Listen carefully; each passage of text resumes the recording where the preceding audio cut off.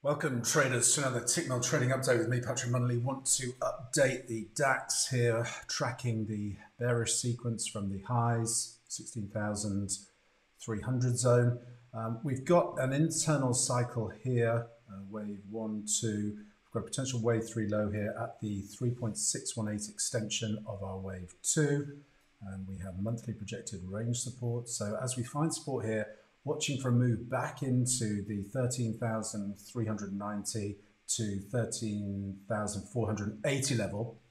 Watch for uh, bearish reversal patterns here to engage on the short side, looking for a 5 equals 1 extension to the downside, 11,855.